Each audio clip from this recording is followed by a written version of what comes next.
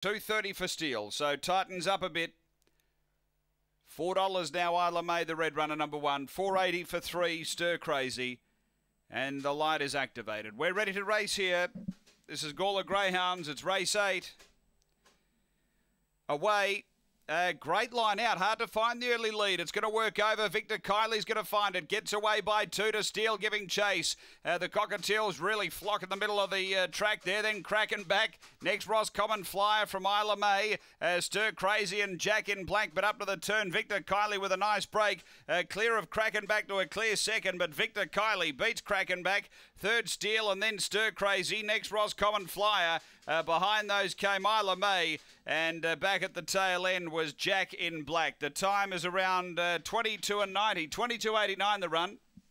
Uh, gee, he's gone around at big odds here. Victor Kiley, uh, $13, uh, getting the prize here. Um, she